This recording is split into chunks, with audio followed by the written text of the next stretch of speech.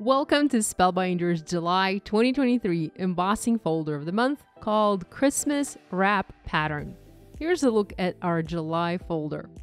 This folder measures 5.5 by 8.5 inches and works for various card sizes. Dry emboss a panel of forest cardstock.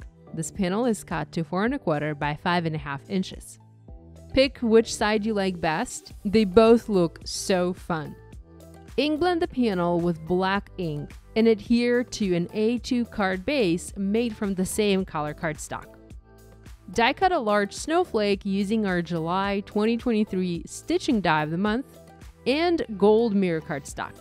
Foam mount the snowflake in the center of the card.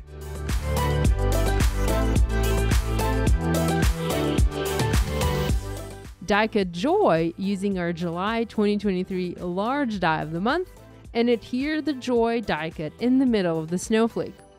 Embellish your snowflake using our oyster white pearls and enjoy. Thanks for joining Spellbinders Club Kits. Have fun creating.